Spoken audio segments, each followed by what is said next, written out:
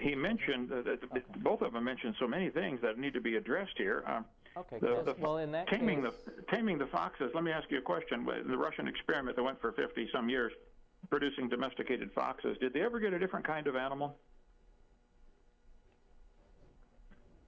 Well, how long, how long, how long were the, were the experiments done? I mean, uh, you know, I don't know of the study, but how long were the experiments done? I mean, you can't all of a sudden just say, well, they we, they had five or ten or fifty years, and that's it, and that's all they're going to do. Okay. Well, how about with the E. coli? Did they ever get anything other than an E. coli, or was it still was it still an E. coli? Did they get anything like a, a hamster or a tomato or a, a worm? Did, is it always a bacteria?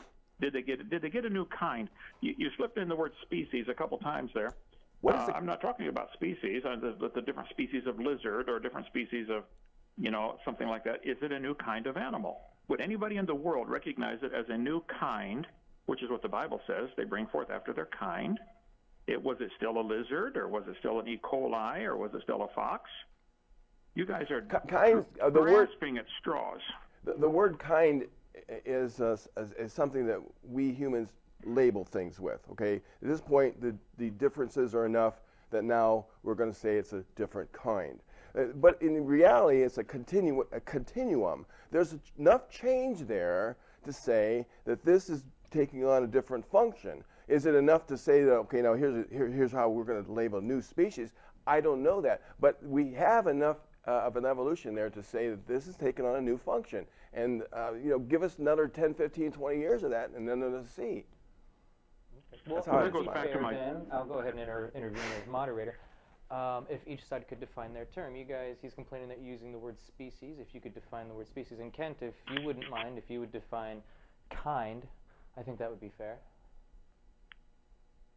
Okay, well, the Bible says they will bring forth after their kind, so apparently the same kind involves bringing forth, i.e., reproducing.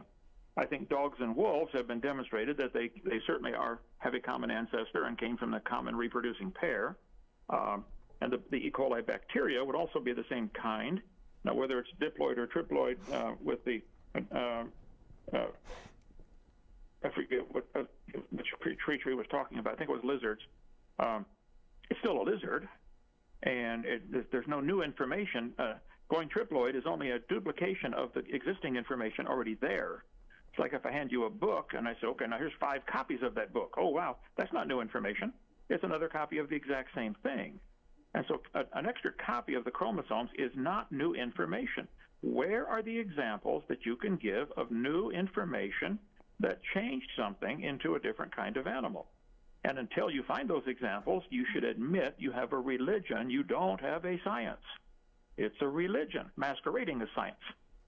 And if that bothers you, I'm sorry, but that's just a fact. Well, well, we'll just have to accept that for what it is. Um, and if you guys, real quickly, if you You would wanna mind that? defining species for our